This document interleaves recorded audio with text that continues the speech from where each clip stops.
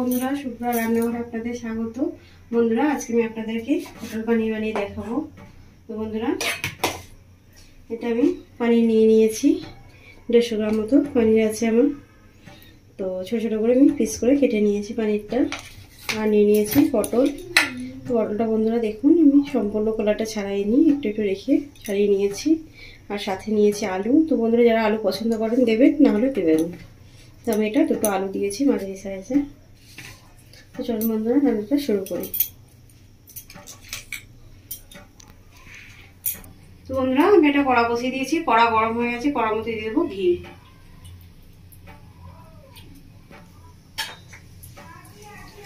ঘিটাকে ভালো করে গরম করে নেব।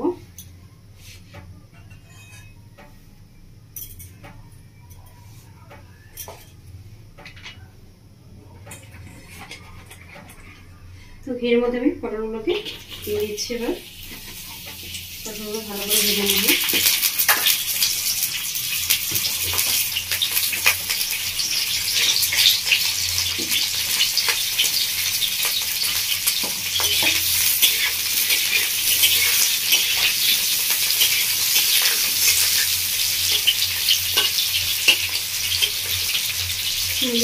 পটলটা ভালো করে ভেজে নেব। এই বন্ধুরা আমি লাল করে ভেজে নিয়েছি। দেখুন, কালার চলে এসছে, লাল লাল। পটলের সেটা আমি তুলে নেব।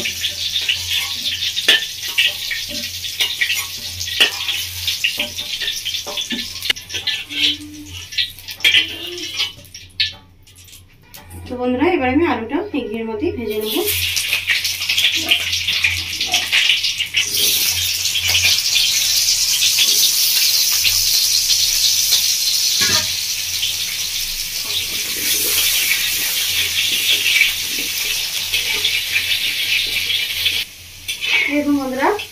লাল লাল করে ভেজে নিয়েছি। এবার আলুটা তুলে দিচ্ছি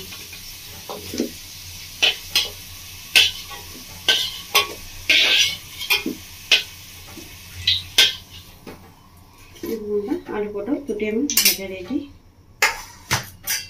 বন্ধুরা এবার আমি পানিরটা ভেজে নেব। পানিরটা খুব বেশি ভালোভাবে ভালো করে ভাজবো না, লাল লাল করে, একটু হালকা করে ভেজে নেব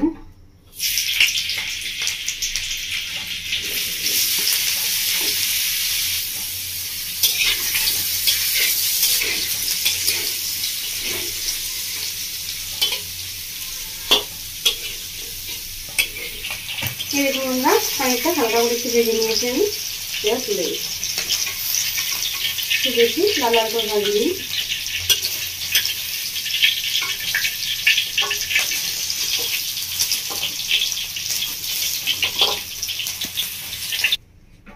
তো বন্ধুরা, ভাজা পানির ভাজা যে ঘিটা ছিল, ওই ঘিয়ে আমি ফোড়ন দিয়ে নেব এবার। তো দেখুন বন্ধুরা, ফোড়নে কী নিয়ে নিয়েছি? পাঁচ ফোড়ন চামচ মতো রাঁধুনি এক চামচ, হাফ চামচ মতো গোটা জিরে, লং এলাইচি, দারচিনি, কালো মরিচ, একটা তেজপাতা, একটা শুকনো লঙ্কা। এটা আমি ফোড়ন দিয়ে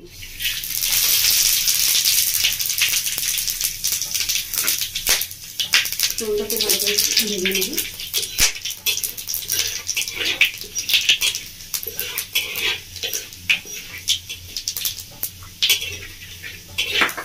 এবার দিয়ে দিচ্ছি বন্ধুরা কেটে রাখা পেঁয়াজ।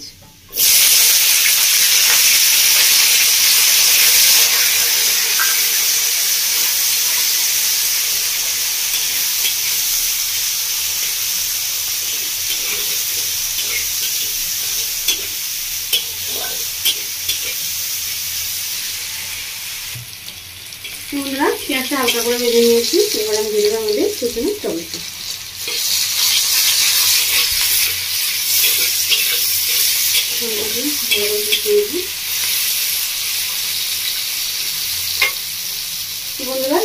আমি একটা পেস্ট বানিয়ে নেব। আমি নিয়ে নিয়েছি চাল মকর আর কাজু বাদাম। সেটা দুটো একসাথে ভালো করে বেটে নেব।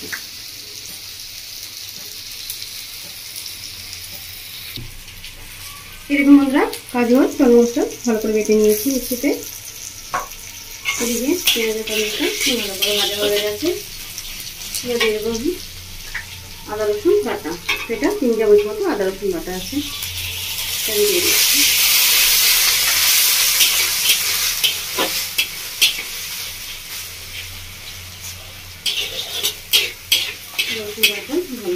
কষিয়ে নেব।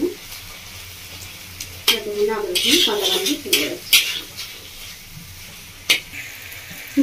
আমি একটা বাটির মধ্যে আমল দুধ নিয়েছি, গুঁড়ো আমল দুধ, দু চামচ মতো, সেটা আমি দিয়ে দিচ্ছি। কাজু আর চালমগজ বাটার মধ্যে। ভালো করে মিশিয়ে নেব।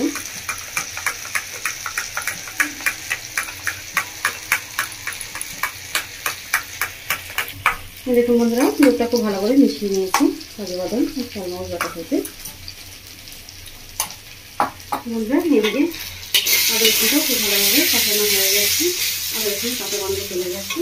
তার মশলার মধ্যে যদি মধ্যে তুলতে দিয়ে মশলায় আমি এক চামচ মতো জিরে গুঁড়ো, এক চামচ মতো দিয়ে দেবো ধনের গুঁড়ো, এক চামচ মতো দিয়ে দেবো কাশ্মীরি লঙ্কার গুঁড়ো। আর দিয়ে দেবো এক চামচ মতো হলুদের গুঁড়ো। ভালো করে মশলাটা কষিয়ে নেব।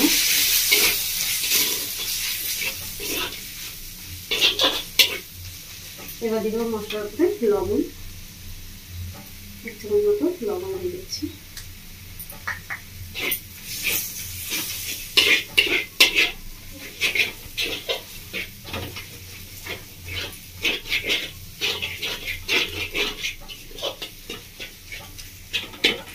বন্ধুরা মশলার মধ্যে দিয়ে দিচ্ছি, গরম জল।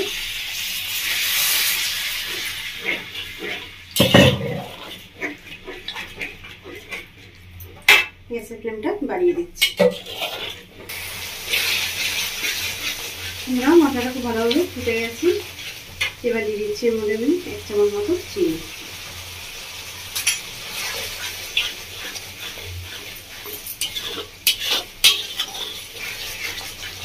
নেব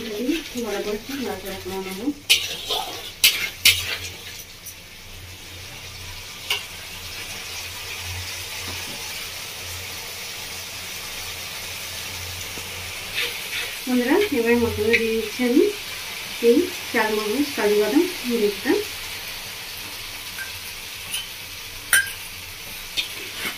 দিয়ে আসতে করে এইভাবে নাড়িয়ে নেব। ফ্লেম মিডিয়াম করে দিয়েছি। মিডিয়াম ফ্লেমে এভাবে আস্তে নাড়তে থাকব দেখুন বন্ধুরা, খুব ভালোভাবে ফুটে গেছে। এবার আমি দিয়ে দেবো এর মধ্যে আলু আর পটল। ভেজে রাখুন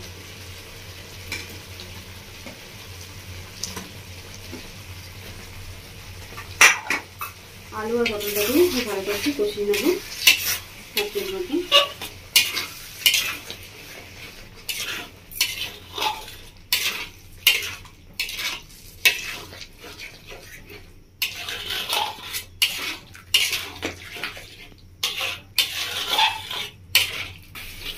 দেখুন বন্ধুরা পাঁচ মিনিট মতো ভালো করে বসিয়ে দিয়েছি। আলু, পটল, মশলার সাথে। এবার দিয়ে দিচ্ছেন জল। আমি দিয়ে দিচ্ছি গরম জল, আপনারাও গরম জলই দেবেন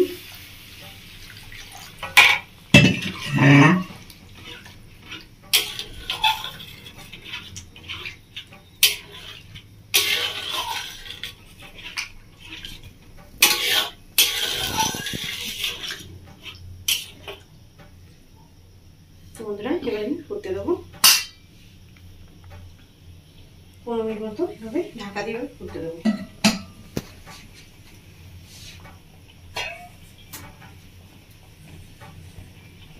তো এটা থালা নিয়ে যে থালা ঢাকা দিয়ে দিচ্ছি। বন্ধুরা, পনেরো তো হয়ে গেছে ঢাকাটা খুলে দেখে নেব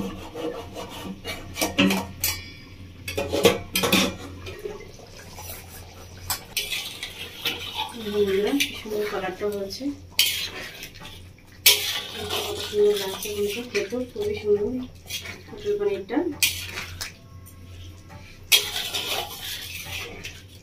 তো দেখিনি আলুটা, সেদ্ধ হয়েছে কিনা? বন্ধুরা, আলুটা খুব ভালোভাবে সেদ্ধ হয়ে গেছে।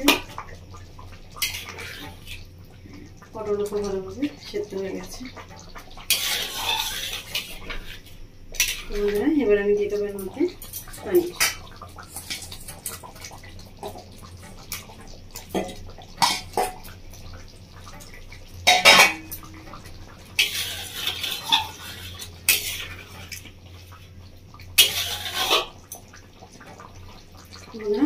দিয়ে আমি তিন মিনিট মতো ফুটিয়ে নেব।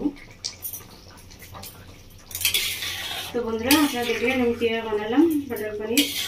তো আপনারা ঠিক বাড়িতে বানাবেন বানিয়ে খাবেন বাড়ির সকলকে খাওয়াবেন আর আমার কমেন্ট করে জানাবেন বন্ধুরা, আপনাদের কেমন লেগেছে।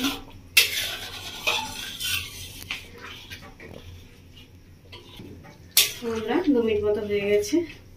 বন্ধুরা, আমার পটল পনিরটা রেডি রান্নাটা। আমি এবার গ্যাসটা অফ করে দিচ্ছি। তো বন্ধুরা, আমার রেসিপি দেখার জন্য আপনাদেরকে অসংখ্য ধন্যবাদ।